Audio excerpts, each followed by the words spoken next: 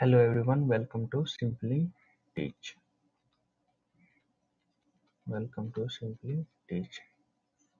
Today we learn about input devices and output output devices. Okay.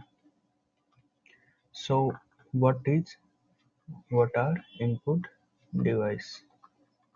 Input device. Any device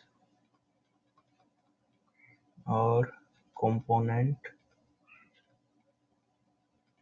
through which we entered data a computer system in a computer system okay example of input devices are keyboard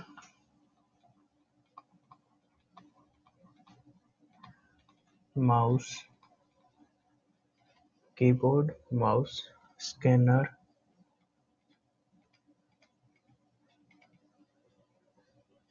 joystick.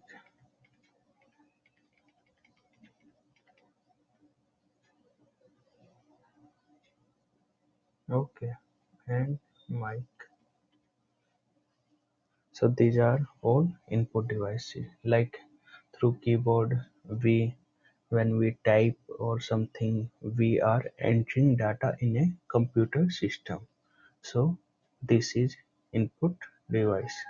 So these all are input devices. Now comes the output devices.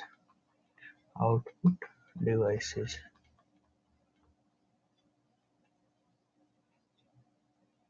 Any device or component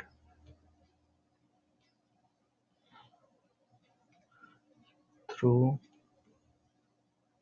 which we take data picture anything from computer. Okay. So examples of output devices are printer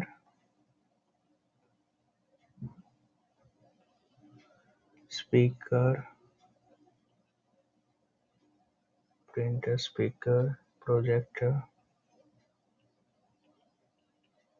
and monitor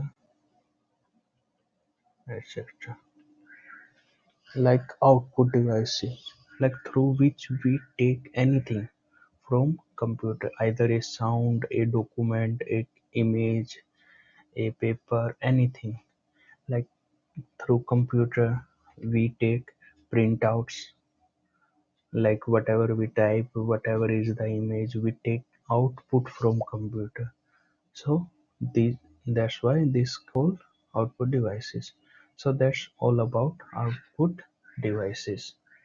So this one is our topic is complete input devices and output devices. Thanks for watching